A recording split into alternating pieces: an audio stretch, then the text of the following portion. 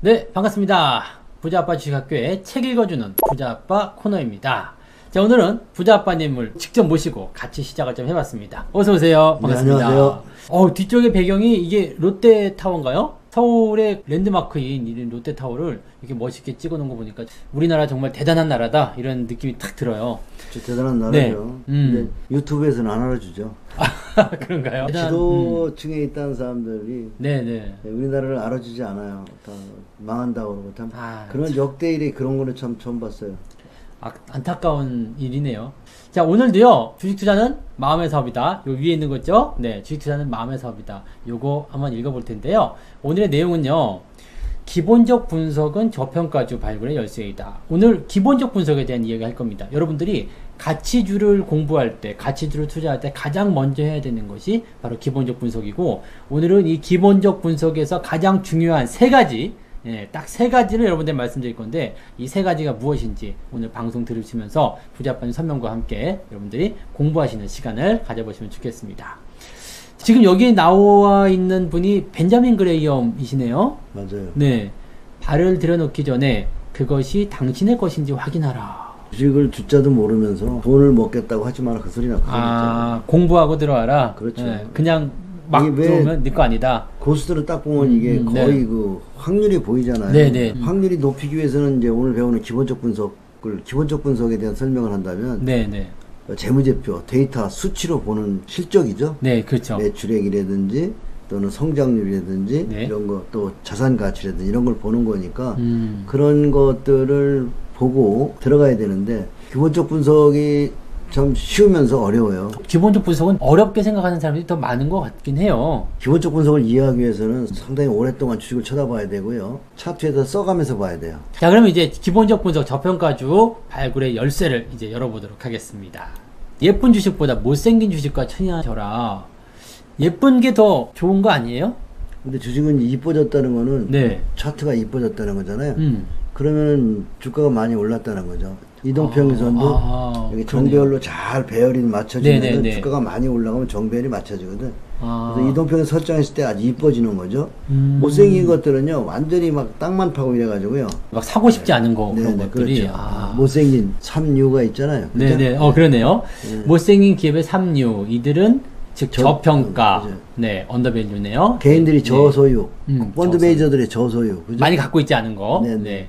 비선호 네, 근데 뭐 테마나 이런 게 없어가지고 네. 꿈이 없는 주식이지. 그래서 이런. 주식을 담으면 요즘에 그 회원 소감문 방에 올라가는 줄상한가 나온 것들 네네네네네. 많잖아요. 요즘에 뭐 돼지 관련주도 나왔고 네 그렇죠 닭 관련주도 좀 뛰었잖아요. 어, 닭도 많이 그- 뛰었죠, 것들이 네. 뭐냐면 비선호 종목들이거든요. 음 그래서 인기 없을 때 사놓으면은 예, 급등하면은 보상을 금방 이번에도 받았잖아요. 금방 받죠 그, 네. 저소유, 저평가, 비선호 종목. 비선호. 예, 그런 종목이 좀 저- 종목이 여기서 얘기하는 소위 못생긴 주식들이었죠. 음. 예. 그럼 이런 기업의 이런 삼류 즉 저평가 저소유 비선호 이런 기업들을 기본적 분석으로 우리가 찾아낼 수 있다라는 말씀이신 거잖아요 그렇죠. 예. 음, 여기서 이제 가치주라는 것은 투자자들이 회의적인 시선으로 바라보기 때문에 자산 가치나 수익 능력에 비해서 가격이 싼 주식이다라고 되어 있거든요. 그러니까 실제로 이제 가치주를 발굴하는 그런 방법 중에는 이 기본적 분석이 가장 기본적이라는 건데 그 첫 번째 어, 항목부터 우리가 좀 찾아보도록 하겠습니다. 어, 향수가 아니라 식료품 살 때처럼 투자하라. 주식가를 개량하는 습관을 가져라. 이게 이거는 계산식이 좀 복잡하게 들어가야 되는 건가요? 그러니까 향수 살 때는 보면 네. 비싼 향수를 브랜드 보고 사잖아요. 근데 우리 식품을 살 때는 보면 어떻게 브랜드 보고 안 사죠, 그죠? 꼼꼼히 따져보죠, 그죠? 가격도 어, 따지고. 그러니까 식품 살 때처럼 향수는 브랜드가 돼 있고 그러면 그냥 달라는 데 주고 사잖아요. 아, 예, 그래요? 그런 그런 얘기입니다. 그러니까 어, 식품은 네네. 브랜드가 없기 때문에 우리가 일 따져보잖아요, 그죠? 음. 그렇게 꼼꼼히 따지면서 살아 그런 얘기입니다. 아, 이제부터 본격적인 핵심 도구가 나오는데요. 이제 첫 번째는 바로 ROE네요. ROE는 이제 자기 자본 이익률인데, 그러니까 자기 자본을 가지고서 얼마만큼 돈을 벌었느냐 이거잖아요. 그렇죠. 음, 네. 그럼 이 ROE는 어떻게 보는 게 기본적 분석을 할 때 좀 도움이 많이 될까요? 그래서 자기 자본 이익률이 음. 뭐10% 정도 이상 나는 것이 좋죠. 아, 두 자릿수. 예. 이거를 그냥 보면 안 되고 차트하고 같이 보면은 네네. 어떤 것들은 ROE가 흔히 10% 또는 20%를 내면서 우상향하는 네, 네. 종목이 있고요. 어떤 종목은 ROE가 플러스했다, 마이너스다 막 그런데 아, 주가도 마이너스. 막 왔다 갔다 하죠. 네네네. 그래서 이 기본적 분석도 하루아침에 지표의 원리를 알았다고 끝나는 게 아니라 음. 많은 종목들을 보면서 ROE가 좋을 때와 나쁠 때 아. 언제 사야 될까 하는 게 네, 네. 자기만의 어떤 그 느낌이 오는 게 있습니다. 그래서 아, 정말 주가를 많이 바라보고 어, 그다음에 뉴스도 많이 바라보면서 ROE하고 같이 네, 대비해서 어, 아주 소량만 사시면서 시간을 가지고 공부하는 게 맞습니다. 투자가들은. 여기서 이제 투자의 좀 가장 기본적인 원칙도 하나가 나오는데요. 소량 투자. 이 사실 이게 굉장히 중요한 거거든요. 비중이라는 부분은요. 이게 몰빵해가지고 한꺼번에 큰 수익을 올리는 것도 좋지만은 사실 뭐 이런 말이 있어요. 몰빵 투자는 100전 99승 1패 깡통이란 말이 있거든요. 그래서 이 소량으로 계속 공부해 보면서 아, 이 ROE가 높은 기업들 또는 ROE가 좋은 기업들, 나쁜 기업들 어떻게 하면 좋을까 이렇게 생각해 보는 것도 참 좋을 것 같아요. 그 다음은 이제 퍼네요. 퍼는 이 주가 수익 비율이네요. PER 이거는 이제 우리가 많이 알고 있고 또 익숙한 지표 중에 하나인데 이 PER는 어떤 식으로 좀 이용을 하면 좋겠습니까? PER는 결국 이제 이 주식이 얼마나 벌고 있느냐, 야, 주당 주당. 순이익이 얼마나 네, 되느냐 네. 얘기하는 거잖아요. 음, 주당 순이익이 가치주 발굴하는 데는 좀 모순이 있어요. 어 그래요? PER가 얕다고 그래가지고 네. 주가가 싸면서 돈을 많이 벌었다고 그래서 좋은 건 아니거든요. 왜- 돈을 잘 네. 벌면서 주가가 비싸면 PER가 높죠, 그죠? 그렇죠. 고PER가 된단 말이에요. 네, 네, 네. 아까 저 ROE 공부할 때는 고 ROE가 좋듯이 네. 이고 ROE 그러니까 성장성이 높고 수- 매출액이 높으면 네. PER가 높아요. 그죠. 뭐이 삼성전자 같은 PER를 경우. 네, 네. PER라는 거를 가지고 가치주를 잡아내기에는 조금 모순이 있어요. 그래서 음. PER가 얕다고 그래서 무조건 좋아하면 안 된다는 거죠. 그래서 이게 그렇군요. PER가 얕고 주가도 얕고 그러면 이거는 담배꽁초주라고 그러죠. 담배꽁초. 네. 그래서 PER라는 개념을 조금 어렵습니다. PER라는 거를 가치주 볼 때 참고하면 네. 속기가 좋으니까 PER와 차트와 많이 오래 같이 봐야 됩니다. 그렇군요. 예, 그래서 PER가 높은 데도 주가가 계속 가거든요.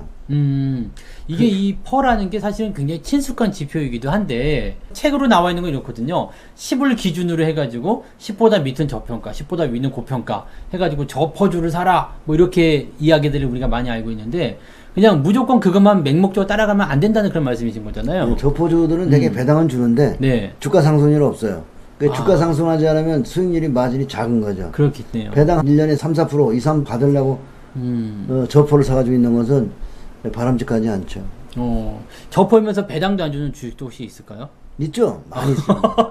그러면 정말, 그런 것들은 정말 나쁜 거네. 자산 가치는 높죠, 그대. 아, 자산 가치가 높은 예. 거. 다음에 이제 나올 거예요, 자산 아, 가치. 네.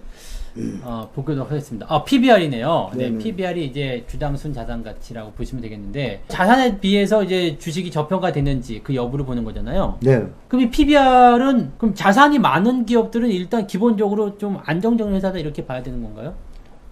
그렇죠. 회사가 태어나서 돈을 꾸준히 벌면 재산이 늘어나잖아요. 그렇죠, 공장도 짓고 이제 건물도 사고 네네네. 뭐 이러면서 그다음 현금도 저축하고 이런 음. 것들이 이제 PBR에 잡히는데 그또 PBR이 저 PBR이라고 주가가 또 급등하는 건 아니에요. 자산주들은 또 그런 게 있어요. 그렇죠. 가치 음. 투자에서 이 지표들이 모순이 있어요.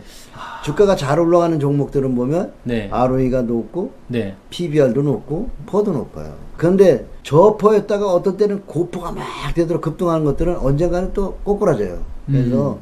그거를 다 이해하기 위해서는 여러분이 작은 금액으로 자꾸 사보고 어. 실험해보는 네. 게 어. 연습의 시간이 정말 필요한 거예요. 그거 없이 저퍼는 무조건 좋은 거야. 저 PBR은 무조건 좋은 거야라는 아니에요. 고알은 무조건 좋은 거야. 어떤 것들은 영업이익이 별로 없다. 어느 해막 영업이 100%막 나는 거 있어요. 오, 예. 그거는. 위험한 거죠, 그건. 오. 뭐 땅을 팔았다든지 뭐 아. 다른 이익이 난 거죠, 그죠? 제일 좋은 거는 적당한 ROE를 꾸준히 유지하는 거. 음. 매해 돈을 버는 게 제일 중요한 거죠. 그래서 그런 종목들은 보면은 주가가 오랫동안 상승하는 거죠. 음. 뭐 서- 우리나라에서는 삼성전자 같은 거고 미국 같은 어. 맥도날드라든지. 존슨앤존슨 같은 것들이 매해 좀 갱신하면서 우상하니까 그렇죠, 그렇죠. 우리가 봐야 되는 것은 이제 그런 오래된 주식들이 왜 그렇게 어떤 형태로 올라가는가를 연필로 자꾸 차트에 써보면서 차트는 가격의 움직임이잖아요. 네, 그렇죠. 거기다가 이제 연간 안에다가 써붙이는 거 좋죠. ROE는 음. 얼마였지 여기서?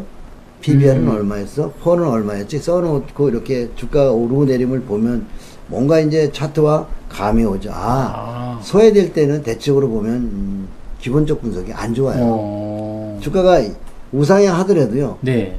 그냥 가는 게 아니라 들어 눌러 들어 눌러 하잖아요. 그죠? 그쵸, 그쵸. 어, 그래서 이렇게 주가가 좀 이격 났다가 내려오기도 하고 올라갔다 또 네, 내려오면서 그렇죠. 저점을 올라가죠. 높여가잖아요. 네, 네, 네. 고점은 높아지고 네. 그렇게 갈 때도 보면 실적이 울풍질풍하거든요. 음. 그다음에 또 하나는 이제 일단 얼마나 많은 사람들이 시장에 참여하느냐. 아. 시장에 돈이 들어오고 시장이 뜨겁냐. 네. 그러니까 시- 주가는 보면 시장이 뜨겁고 시장이 강세장일 때는 많은 투자가들이 돈을 갖고 들어오기 때문에 고평가가 된다고. 그러니까 주식은 그때 사면 안 되는 거죠.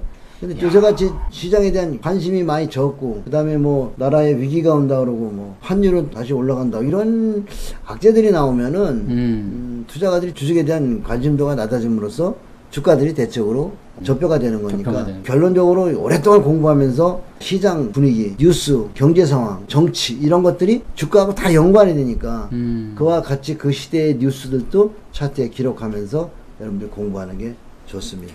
야, 이 기본적 분석 굉장히 기본적이다 해가지고 쉽게 보고 그냥 생각하시는 분들 많으셨을 텐데, 어, 들으면 질릴 것 같아요. 근데 이렇게 기본적 분석을 여기에는 이제 기본만 하고 버리라는 말이 나오네요. 아주 그거죠. 네. 그래서 여러분이 차트와 같이 공부해야 돼요.